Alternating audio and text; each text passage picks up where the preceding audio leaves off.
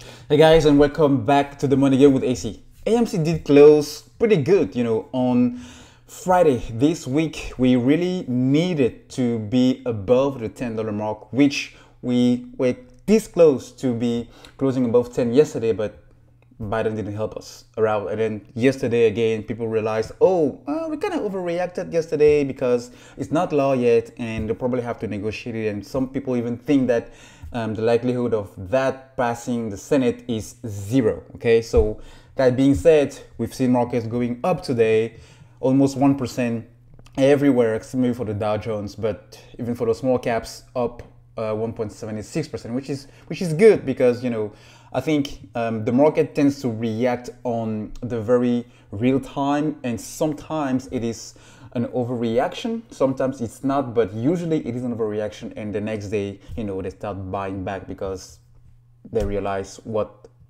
they did yesterday was not that smart per se. All right, so I want to quickly go over uh, uh, an interesting news, guys, around hedge fund collapsing in Sweden. Okay, um, the whole article is about how a specific hedge fund uh, uh closed its door in 2020. But the interesting part of it is the industry of hedge funds may be in decline.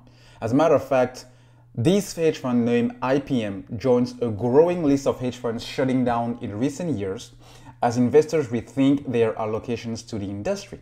More hedge funds have closed than started in the last six years, with 70, I mean 770 of them shuttering in 2020, according to the data compiled by Hedge Fund Research Inc. Guys, almost 800 hedge funds closed the doors in 2020.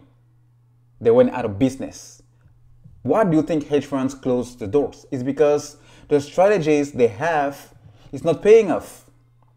They're not making money, or at least as much money as they would like to, okay? Or when you short, being heavily leveraged with billions of dollars, guys, um, you get squeezed and then you end up having to pay much more than you actually owe or value as a company. So it doesn't surprise me that hedge funds, you know, are more and more closing doors in the last six years. I mean, including 2020 alone, 800. That's that's huge. So that being said, um, there is a lot more things going on um, beyond AMC with the hedge funds. Hedge funds are shorting the markets, like overall, the energy sector, the airline sector. I mean, not only AMC. So once the scrutiny of the SEC and you know the, the, the retail investors and much more good news coming into the market and the market going up again, they'll definitely get squeezed, man. So that will also be true for AMC. Now the question is, will you be ready when it comes?